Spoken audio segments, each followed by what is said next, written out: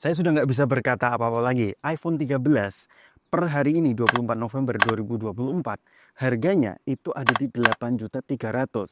Dia green pill, brand new, garansi resmi, udah nggak ada kompromi sama sekali. Kalau teman-teman membeli iPhone 13 di tahun ini, apa saja sih relevansinya dan catatan apa yang perlu kalian perhatikan? Yuk kita lanjut ke studio.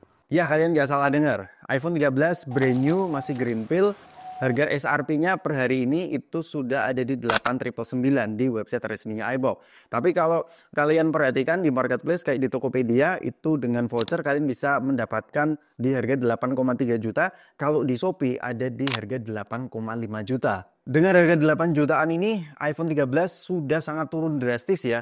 Di awal rilis di Indonesia akhir tahun 2021 itu ada di 14.999 atau 15 juta sekarang ada di angka 8 uh, eh, jutaan ya turunnya kurang lebih 40% hampir setengahnya. Nah sekarang relevansinya seperti apa sih saya akan sebutkan satu persatu. Pertama dari sektor performanya. Meskipun iPhone 13 ini sudah berumur 3 tahun, prosesor A15 Bionic di tahun ini itu masih sangat relevan.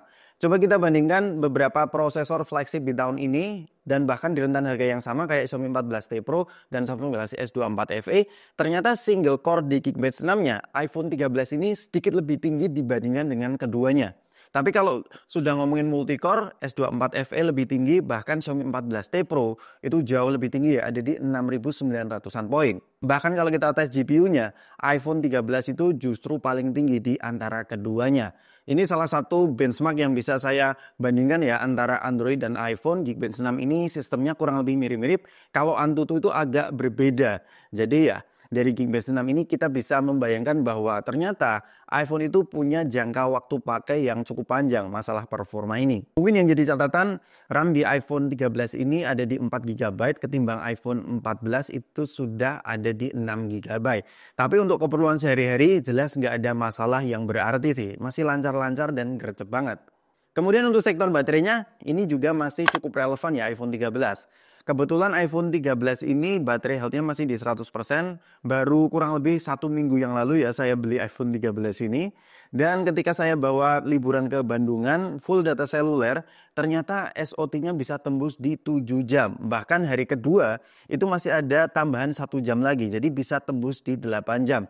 Jadi jangan khawatir soal baterainya.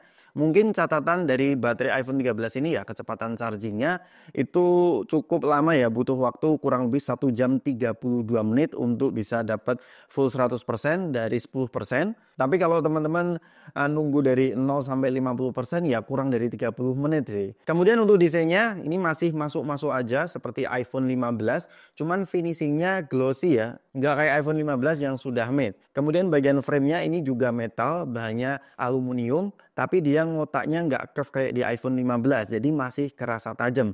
Tapi sudah cukup termaafkan karena dia HP-nya ringan, kemudian ya tergolong tipis juga, jadi nggak terlalu terasa membawa beban, tinggal pakaiin case aja. Kemudian untuk fitur-fiturnya iPhone 13 ini meskipun base model, tapi fitur-fitur esensial kayak stereo speaker yang suaranya belum banget,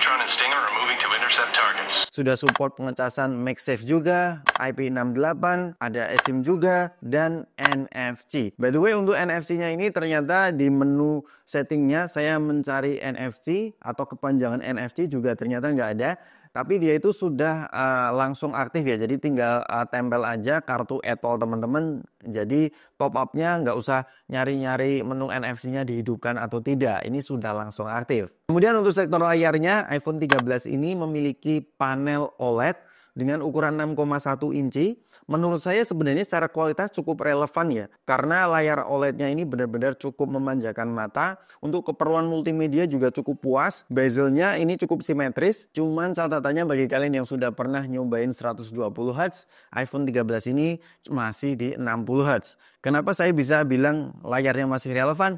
Ya iPhone 16 sekalipun yang base model itu juga masih 60 Hz. Ya mungkin teman-teman yang merasa dia tidak memiliki dynamic island ya terlihat iPhone agak lama sih. Karena mulai iPhone 15 base model kemudian 16 base model itu sudah dynamic island. Kemudian untuk softwarenya ini sudah saya update di iOS 18.1.1. Ternyata ini juga memiliki experience yang sama ya seperti iPhone 15 yang sudah saya review. Dia customnya sekarang sudah lebih luas lagi. Kemudian secara privasi di iOS 18 juga ditingkatkan. Bahkan terlihat fresh juga ya iPhone 13 setelah diupdate di iOS 18. Saya sudah membahas di review iPhone 15 kalian bisa cek di sini. Dan untuk software update-nya menurutku juga masih cukup relevan karena dia masih berumur 3 tahun masih ada perkiraan sekitar tiga tahun lagi untuk update software si iPhone 13 ini. Kemudian untuk sektor kameranya, meskipun dia sudah berumur 3 tahun, ya jelas masih sangat relevan di tahun 2024 ini. Bahkan iPhone XR yang jauh lebih lama ketimbang iPhone 13 di TikTok itu warga net itu masih membahas dan membanding-bandingkan. Apalagi yang varian terbaru dengan sensor yang lebih besar dan fitur-fitur yang lebih banyak kayak photographic style, bahkan cinematic mode mulai iPhone 13 series itu sudah diperkenalkan. Buat hasil fotonya sendiri, saya cukup apresiasi memang iPhone itu memiliki akurasi warna yang terbilang kelas wahid, konsistensi antar lensanya kalau cahaya melimpah, bahkan di minim cahaya sekalipun dia cukup konsisten antara kamera utama dan kamera ultrawide-nya. Cuman memang kemarin pada saat saya mereview iPhone 15 dengan adanya 48 megapiksel itu experience-nya agak berbeda ya. Kelemahan di iPhone 13 ini karena masih di 12 megapiksel untuk main kameranya, maka dia mode portraitnya cuman uh, bisa satu kali aja, nggak sedramatis iPhone 15. Kemudian untuk videonya, semua resolusi kameranya bisa 4K 60 fps. Bisa dibilang kalau kalian mencari video quality terbaik di rentan harga 8 juta, ya iPhone 13 ini adalah jawabannya. Nah itu tadi adalah beberapa hal yang masih relevan dari iPhone 13 jika kalian beli di tahun ini. Ada beberapa hal yang perlu saya singgung lagi sih yang menurutku agak mengganggu ya atau kurang begitu relevan. Yang pertama lagi-lagi lightning port ya iPhone 13 ini masih menggunakan Lightning Port, kecepatan data transfernya cuma 480 megabit per second, ini lambat banget. Kemudian yang selanjutnya dengan Lightning Port ini ya kalian agak repot ya. Kalau kalian uh, menggunakan aksesoris yang sudah uh, support USB Type-C, maka kalian merasa terpenjara dengan Lightning Port ini. Apalagi kalau sedang traveling perlu membawa dua kabel itu merepotkan ya. Kemudian hal yang perlu jadi catatan, ini nggak yang deal breaker banget, tapi uh, kalian perlu tahu dan nggak semua orang tahu ya. Just informasi aja. Jadi iPhone 13 ini meskipun dia bisa update di iOS terbaru, tapi fitur AI atau Apple Intelligence belum bisa uh, digunakan di iPhone 13 ini ya. Mulai bisanya itu di iPhone 15 Pro, 15 Pro Max, dan iPhone 16 series. Dan persyaratannya harus RAM-nya 8 GB.